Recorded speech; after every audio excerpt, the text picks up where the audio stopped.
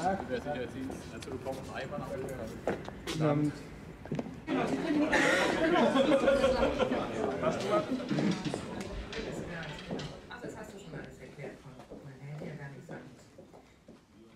bin heute ein bisschen heiser.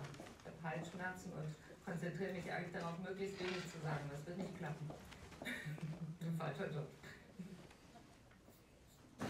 Sind Sie schon verkabelt? Nein? Nein. Ach so, okay. Wusste nicht. Könntest du das machen? Na klar.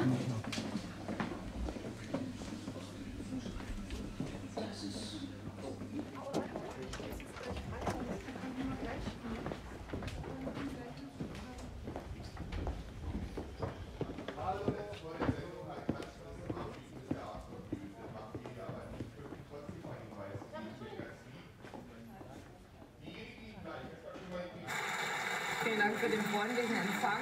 Das kleine Luxemburg ist in einem ganz groß in Steuervermeidungsmodellen für Firmen aus aller Welt, auch aus Deutschland.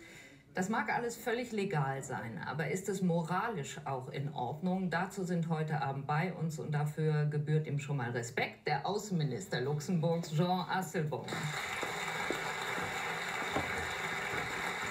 80 Kollegen vom NDR, dem WDR, der Süddeutschen Zeitung und anderen Häusern haben aufwendigst recherchiert, wie lief und läuft das Steuersparmodell Marke Luxemburg. In Großbritannien haben Betriebe die wenigsten Steuer zu bezahlen. Aber Herr Asselborn, das ist doch keine Entschuldigung, zu Ja, sagen, die anderen machen auch so schlimm ist. Das stimmt, Nee, haben Sie schon auch, England sie geschaut auf der Landkarte? Größenordnungen Sie wissen auch. ja, wie groß das wir sind. Haben Sie schon England Naja, also? Sie haben schon extrem viele Briefkastenfirmen dafür, dass sie so klein sind. Es Also Sie können da mit England schon konkurrieren. ja, wir haben keinen Holland. Platz für äh, Häuser, darum haben wir nur Briefkasten. Ja, ja, aber dafür mehr als genug.